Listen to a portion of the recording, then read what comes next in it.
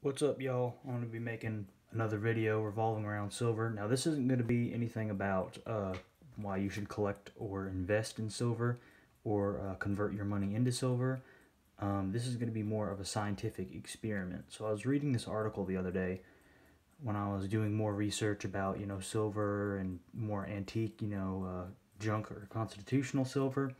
And it was talking about how if you have a coin like this, or any silver for that matter, you can um, use egg whites, um, not normal egg whites, they got to be hard boiled, I think, I believe. I mean, you might be able to use non hard boiled, I really don't know, I didn't try it. Hard boiled egg whites to colorize silver. And they were showing some pictures of some like a sterling silver dishes and stuff, but they didn't have any pictures of these with that sort of spectrum uh, metallic rainbowy looking colors on it and I wanted to try that for myself and so I did and here are the results of that. And I think this turned out really really good. I did I had no idea it would work this effectively. Now granted I did learn somewhat the hard way that the eggs the hard-boiled uh, egg whites do have to be warm. It will not work nearly as well if it is cold. It'll take a long time because I remember it was only lukewarm and I did this side first and it turned out like this but then when I started doing the face of the uh, silver eagle it was taking forever and it was only turning like light brown. It wasn't getting all these interesting really nice pretty colors like uh, green blue orange. It wasn't really doing that. It was only like slightly orangish brown. And so I thought to myself hmm maybe if I heat the the egg up again it'll work. And I did and it did and it worked relatively shortly after. I mean, it only took maybe a half hour to start looking like this after I heated it up in the microwave for, I don't know, 10 seconds. But anyway, that's just a fun little experiment that you can try.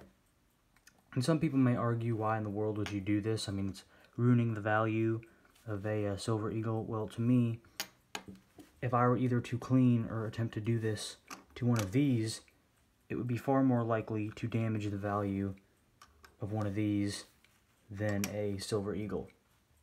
And the reason for that is a silver eagle, there's millions and millions and millions being made. I mean, a 1987 eagle is only worth like maybe $30.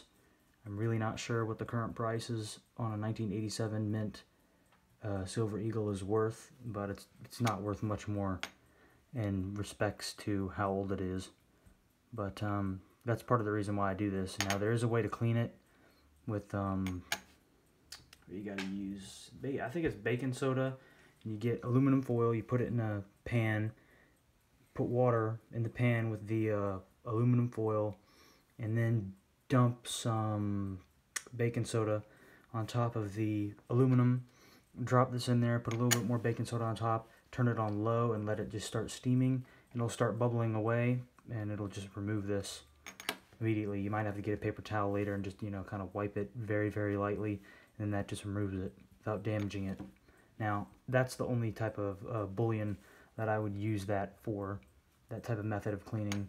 I have no intentions or no plans to clean any of these Morgan dollars because to me, they're more pretty as they are with their original patina that they've gathered over, I don't know, over 100 years. Well, that one wasn't 100 years old, but I have some that are over 100 years old. But I think you get the drift. I mean, it, it turned out a lot prettier than I had imagined it would. I thought it would look uneven. And again, at first it did look uneven, but I had to, you know, periodically move the thing around and get it to where I was happy with it. I may eventually remove this finish. I'm not really sure yet. I did neutralize it with baking soda afterwards just to try to halt any changes as much as I could. But that's going to about do it. Actually, no, that's not about going to do it. Um, there was one more thing I wanted to mention. Some people might be like, well, why would you do this? Because this is worth more right now than that. Well, again, I'm not trying to get rich really, really fast off of silver. I'm just having it as a uh, sort of a barrier and protect protection of wealth. And if silver were ever to rise up to like, I don't know, $110 an ounce, no one is going to care that it has this finish. As long as I can tell this is authentic silver, this is at that point is going to be worth the exact same as that. If it really rises that high, then no one's going to care that it has a little bit of discoloration or rainbow looking spectrum colors to it. But anyway, that's just my opinion.